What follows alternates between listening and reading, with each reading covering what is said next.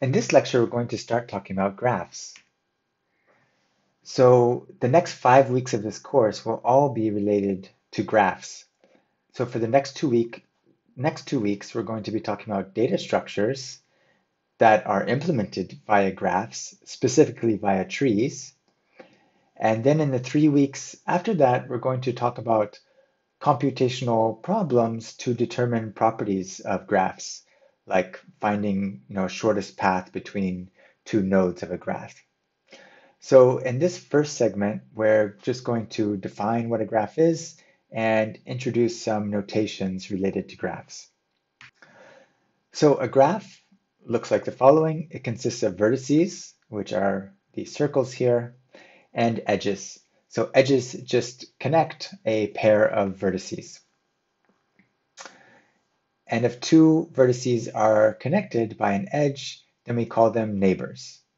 So this vertex here, for example, has two neighbors, this vertex and this vertex. So another fundamental concept in a graph is the notion of a path. So a path is just a sequence of edges which connect vertices. So here we can start at vertex 1, we can follow this edge to go to vertex 2, from here we can follow this edge to go to vertex 3, and then we can follow this edge to go to vertex 4. So this is a path connecting vertex 1 with vertex 4. On the other hand, you can see that if we look at vertex 1 and vertex 7, then there is no path connecting them. Now we say that a graph is connected if and only if and only if there's a path between every pair of vertices. So this graph here would not be connected because as we just said, there's no path between vertex 1 and vertex 7. Okay, so related to a path is the notion of a cycle. So a cycle is just a path that starts and ends at the same vertex. Okay, so here we have a path that goes from 1 to 2 to 3 to 4 and then back to 1. So that's a cycle. For the next two weeks, we're going to be talking a lot about graphs that are trees. So let's define what a tree is. A tree is a connected graph that has no cycles. So if we look at our running example here, is this graph a tree? Well, there's actually a couple problems with this graph. The first is that it has a cycle, right? We have this cycle uh, this path that starts at 1, goes to 2, to 3, to 4, and back to 1. So it has a cycle. So this graph is not a tree. Okay, so now I've removed the edge between vertex 1 and 4. So now the graph has no cycles. Is it a tree now? Well, it's still not a tree because it's not connected, right? There's no path from, for example, vertex 1 to vertex 7. So right now the graph is actually the union of two trees, right? So, so this graph on the vertices one through six, that's a tree. And then this graph just between vertex seven and eight um, is also a tree. But overall, the whole thing is not a tree because it's not connected. So now if I remove, you know, vertices seven and eight, now we finally have a tree, a connected graph with no cycles. Now trees have a very nice property.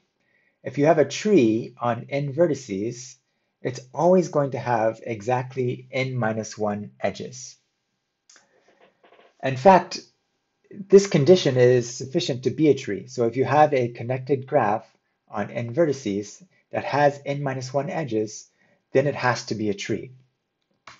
So why is that? Well, if you had a connected graph with n minus 1 edges, why could this graph not be a tree? Well, we already know it's connected.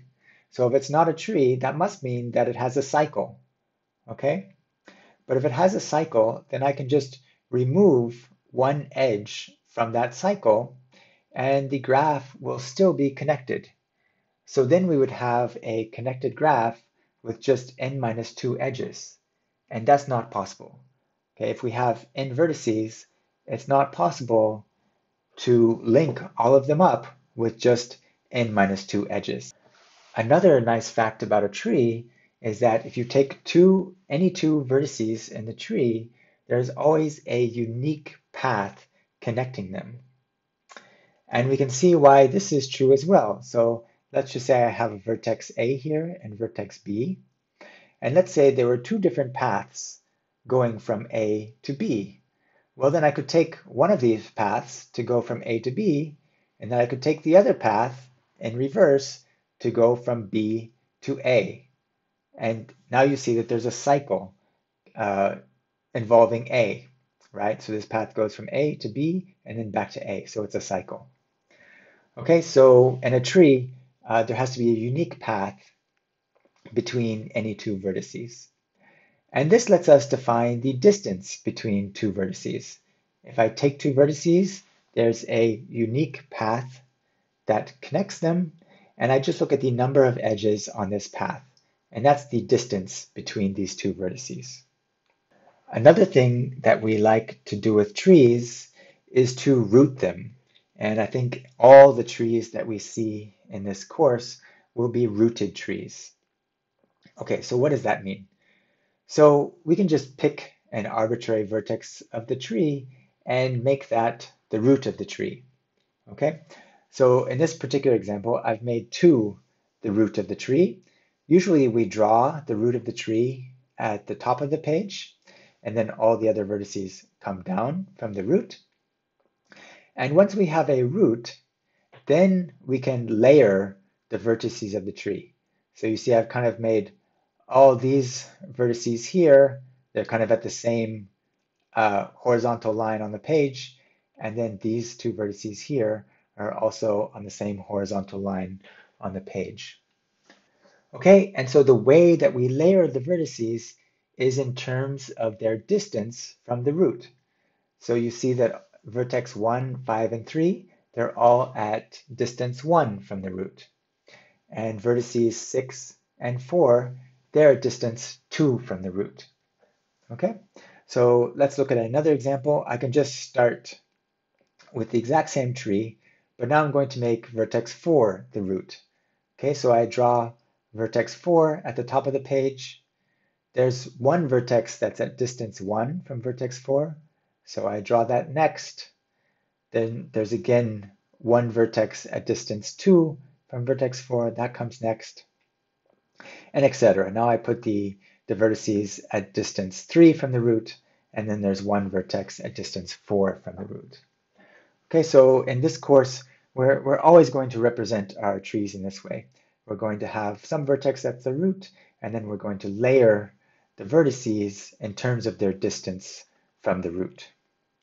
Okay, so once we have a tree with a root, then we can talk about the depth of a vertex. The depth of a vertex is just its distance from the root. So it's basically, you know, in which layer the vertex sits in in this picture. So the root itself just has depth zero, uh, this vertex is at distance 1 from the root, so it's at depth 1. This vertex is at depth 2, and the vertex 6 here is at depth 4. The depth of a tree itself is just the maximum depth of a vertex in the tree. Okay, so the vertex with maximum depth in this tree is vertex 6. It's the vertex that's farthest away from the root, and it's at depth 4, so the depth of this tree here is 4. So we think about vertices in a tree as potentially having children and parents. A child of a vertex is a neighbor of the vertex that is below it in this picture. Okay, so more precisely, if you have a vertex at depth d, then its children are its neighbors at depth d plus 1. Okay, so in this example, uh, Vertex 4 has one child, that's vertex 3. Vertex 2 has two children, vertices 1 and 5. And vertex 6 here has no children, okay? And neither does vertex 1. Vertex 1 has no children. Okay, so a vertex with no children we call a leaf. Okay, so we kind of have the, you know, the tree is kind of looking backwards here, right? We have the root at the top and the leaves at the bottom, but this is usually how we, we draw our trees. So we similarly have the notion of parents of a vertex. Okay, so the parent of a vertex at depth d is its neighbor at depth d minus 1. Okay, so for example, vertex 2 here, its parent is vertex 3. Vertex 6 here, its parent is vertex 5. And vertex 4 has no parent.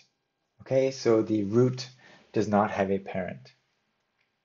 You see that every vertex in a tree, it has at most one parent. And the only vertex that doesn't have a parent is the root. Okay, every other vertex has a parent. So now we can see that a tree on n vertices will always have exactly n minus 1 edges. And that's because every vertex except the root can be identified with a unique edge. And that's the edge connecting that vertex to its parent. So that's why a tree is always going to have n minus 1 edges. Okay, there's one more piece of terminology that's we're going that we're going to need, and that is the height of a vertex. Okay, so depth kind of measures how far down a vertex is from the top, and height kind of measures how far up a vertex is from the bottom, from the bottom of the tree. So precisely the height of a vertex is the length of the longest path from the vertex to a leaf. Okay, so if we look at vertex 3 here, there's actually two paths connecting vertex 3 to a leaf, right? So we can go from vertex 3 to vertex 1, that's a path of length 2. And we can go from vertex 3 to vertex 6, and that is a path of length 3, right? because there's three edges on that path. So we look at all the paths from a vertex to the leaves, and we take the maximum length of one of those paths. Okay, so in this case, the height of vertex 3 would be 3, right?